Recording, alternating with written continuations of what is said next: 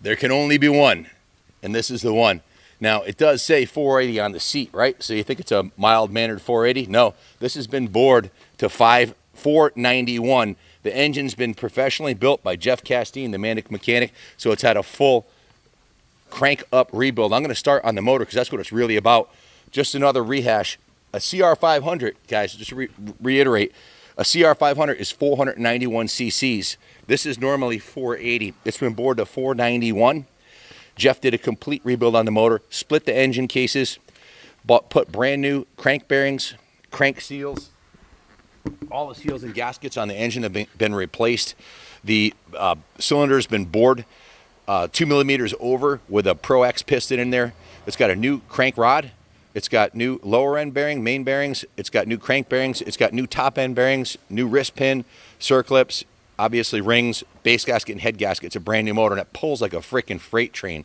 About the only thing I would think about doing to this thing at this point is putting the, the C, uh, a PWK Air Striker carb on it. That it, it, probably wouldn't pull any better on the low end. Might pull a little low, better down low, um, but it is now. It looks like a 480. It's a 491.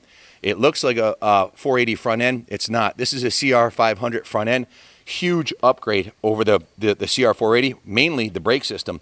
It has the, the uh, Nissin uh, dual piston caliper, rotor, brake line, and master cylinder. So the entire front end is all brand new CR500 replacement over the 480. This is a absolutely stunning machine. If you're looking for a air-cooled race weapon, there's only one in my opinion, and this is it, the 480. This has a five-speed transmission on it. Also, lots of upgrades have been done, like the DG pipe, DG silencer. $500 kit, the, the pipe and silencer. Uh, it's got a new pipe and silencer, and the engine's brand new. The seat cover's brand new. The front fender's new. The front number plate, the original gas tank's in mint shape. The side covers are new. The rear fender is new. Um, estimated total investment in parts and labor about $7,000 uh, on the Resto model, call it. Uh, it's got an upgraded later model shock on it also. As you can see, it's got a new chain and sprockets on it. It's got a nice set of Michelin tires on it. Um, just a kick-ass piece, man. Michelin front tire, Michelin rear tire, it hooks up beautifully. These front ends, I love these uh, early CR 85, 86, 87, 88 forks are, are better than the 89s, actually. Everybody knows that. Uh, they they uh, went backwards when they went to the upside down forks. Kick-ass machine. The frame's in, in mint condition. There's only um, uh, a couple dings on the right side frame rail, and the left side frame rail is like brand new. The original foot pegs, here's an indication, a low hour bike, the original foot pegs aren't bent or broken. The original uh, brake lever is not bent or broken. Pegs and peg mount, mounts are in excellent shape. Swing arms in beautiful condition.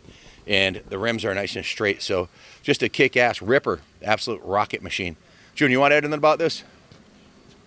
Yeah, definitely. If you're racing the 80s class, uh, the front end conversion, that's huge.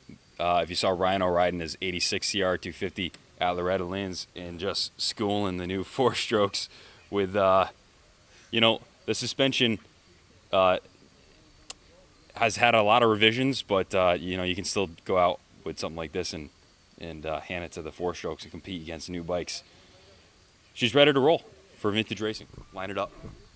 Lots of new hardware on it, including the new aluminum handlebars. Real nice upgrade on the crossbar pad. New set of ODI grips.